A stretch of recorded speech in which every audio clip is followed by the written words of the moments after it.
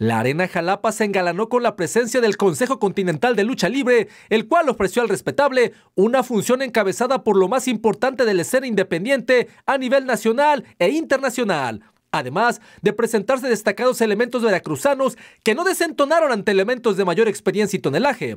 Entre lo más destacado de la función está el retorno a la arena Jalapa del dragón veracruzano, Ricky Marvin, primera figura de la escena luchística en Japón, quien se dijo contento de regresar a la catedral de la lucha libre veracruzana.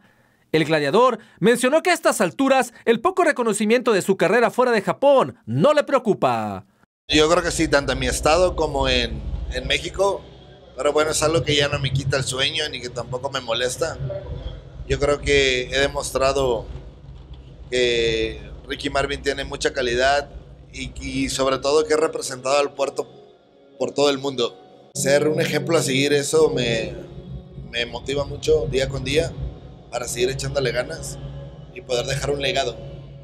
Un legado diferente porque el estilo de Ricky Marvin es muy diferente a todos. Entre los planes del veracruzano se encuentra presentarse próximamente en los Estados Unidos, así como continuar su carrera tanto en el extranjero como en diferentes plazas de la República Mexicana.